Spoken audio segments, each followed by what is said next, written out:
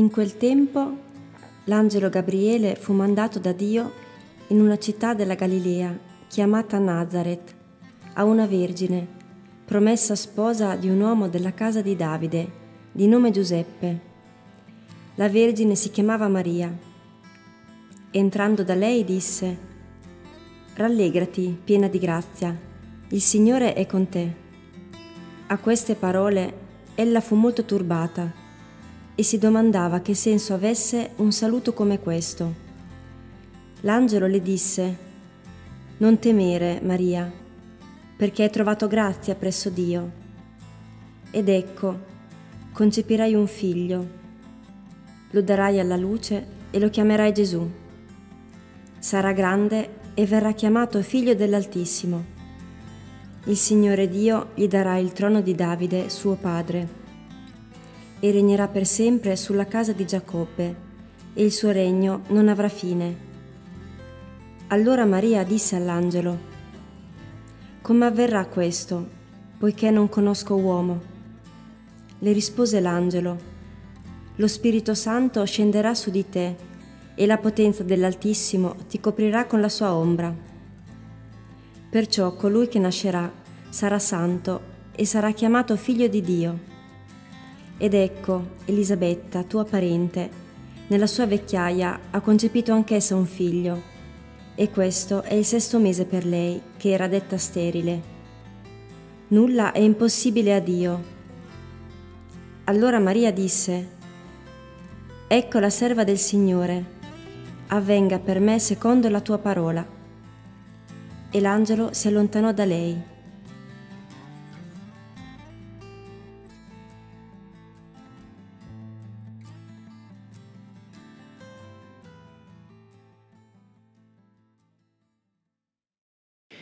Non so se sia leggenda oppure no, ma qualcuno racconta che Papa Francesco, quando deve scegliere i vescovi, si fa dare la lista di tre preferenze indicate dalla commissione e posto il foglio sulla scrivania lo rovescia, partendo dall'ultimo che così diventa il primo.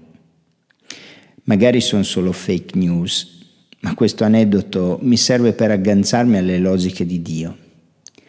Anche Dio aveva a quei tempi delle preferenze titolate, invece sceglie la perfetta sconosciuta, Maria. Ma vediamo come.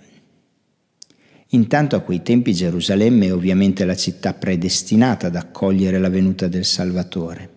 Gerusalemme, la città di Davide, la città del Tempio, cioè del luogo di incontro tra Dio e il suo popolo. Il Tempio dice l'ufficialità della religione, l'istituzione teologica, la dottrina, la mediazione necessaria. Il Messia certamente dovrà nascere qui, a Gerusalemme, preferibilmente in casa di sacerdoti, come ad esempio potevano essere Zaccaria ed Elisabetta. E invece questo non accade. L'annuncio atteso da Israele arriva in pieno nascondimento a Nazareth villaggio fino a quel momento sconosciuto, mai nominato in tutto l'Antico Testamento. E lo riceve non un sacerdote come Zaccaria, ma neppure un uomo, ma una donna, una ragazzina.